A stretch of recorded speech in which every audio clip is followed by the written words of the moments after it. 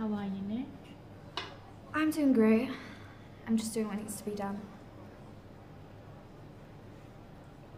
What does that mean? Being responsible for myself.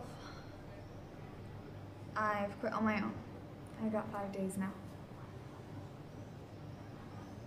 I feel like I'm doing well. I just need a few hundred bucks. I can't just give you money. You've got to get it together.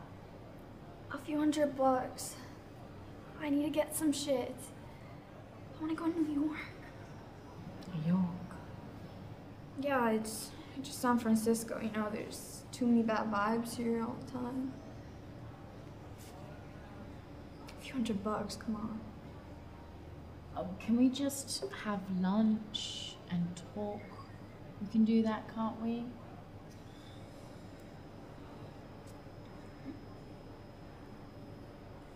How are Kevin and the kids? They're good.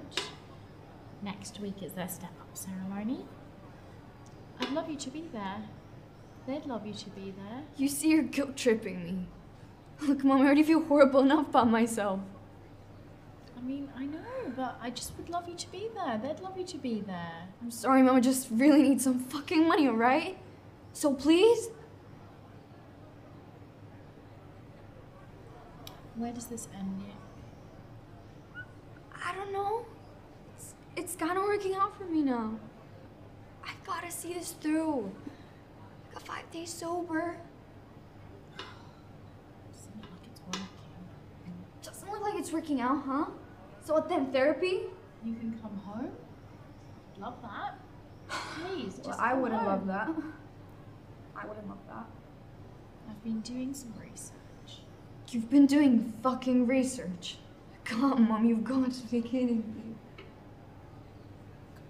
I understand how scared that you must be, and you think you have this. I understand. I understand why I do things. And it doesn't make me any different.